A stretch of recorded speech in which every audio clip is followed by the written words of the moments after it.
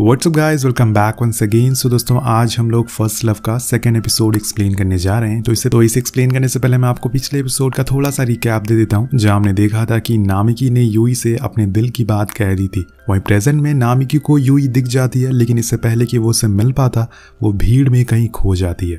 और इसके बाद से एपिसोड टू की शुरुआत होती है। हम पास में देखते हैं, जहाँ पर नामिकी और यूई की लव स्टोरी पूरे जोरों पर है। नामिकी उसे कॉल करता है और अपने साथ घूमने को कहता है, अब यूही भी ये सुनकर बहुत खुश होती है और रेडी होने लगती है। अब इनकी लव स्टोरी देखकर यूही की माँ भी बहुत खुश होती है और उसे चिढ़ाने लगती है। वेल कहानी फिर से प्रेजेंट में आती है और हम देखते हैं कि यूई भी रेडी हो रही है क्योंकि आज फिर से वो अपने बेटी से मिलने जा रही है। और तुजूरू ने इसके लिए उसका फेवरेट कलर का स्वेटर भेजा है, जिसे पहनकर वो बहुत ही खुश होती है। इधर नामिकी, जो कि सिक्योरिटी एजेंसी में काम करता है, वो सभी टैक्सी कंपनीज़ को कॉल करके यूई के बारे में पूछने लगता है, क्योंकि पिछली बार उसने यूई को टैक्सी चलाते हुए देखा। वो चाहता है कि उसे कैसे भी करके यूई एक बार दोबारा दिख जाए या फिर वो उसे मिल जाए, लेकिन इससे कोई फ़ायदा नहीं होता।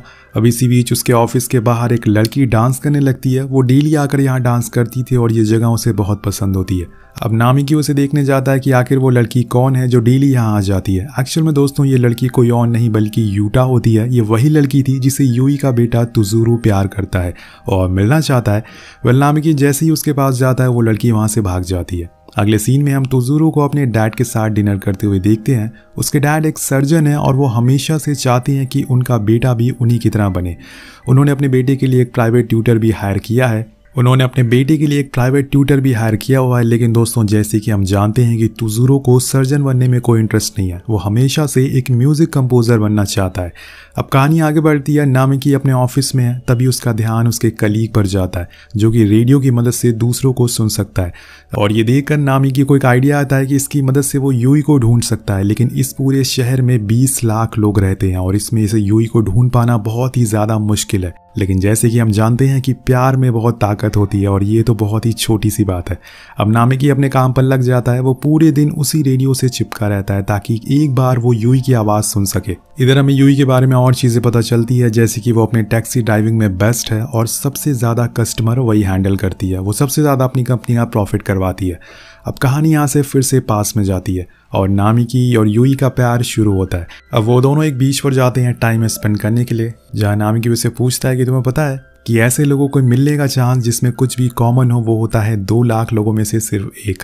और वो दोनों एक दूसरे को जाने इसका चांस होता है बीस लाख लोगों में से एक। और उन दोनों लोगों के पास आने का चांस होता है दो करोड़ में से सिर्फ़ एक। और बेस्ट फ्रेंड बनने का चांस होता है 200 करोड़ में से एक। और अगर बात हो जीवन साथी बनने की तो वो होता है 600 करोड़ लोगों में से सिर्फ़ एक। वाह तो आप समझ गए होंगे कि नामिकी और यूई कितना ज़्यादा लकी है। नामिकी का इतना प्यार देकर यूई बहुत खुश होती है। अब कहानी फिर से प्रेजेंट में आती है और नामिकी रेडियो सुनते सुनते सो जाता है। लेकिन तभी उसे एक आवाज़ सुनाई देती है और ये सुनते ही वो समझ जाता है कि ये यूई है। वो तुरंत ही अपने कलीग को ये बात बताता है। इधर अगले सीन में हम यूई को देखते हैं जो अपने फ्रेंड और कलीग ओतारू से मिलती है, जो कि बहुत शरीफ टाइप का बंदा होता है और शर्मिला भी होता है। अब वो यूई को देखते ही अपनी बुराइयाँ करने लगता है कि मैं इतना अनलकी हूँ कि बारिश में आते ही मैं गिर गया और मेरा हाथ भी टूट गया, मेरा चश्मा भी टूट गया है। मुझे तुम्हें लंच पर ले जाना चाहिए था, लेकिन देखो बारिश होने लगी।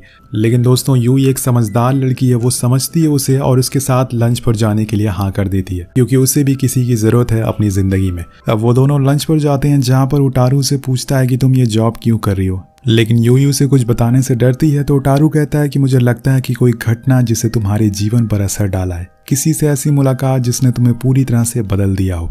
लेकिन यूँ यहाँ पर किस्मत जैसी चीज़ पर यकीन नहीं करती। और तब उतारू कहता है कि तुमने टाइटैनिक तो देखी होगी। वो जैक था जो रोज के लिए सबसे खास बन गया था।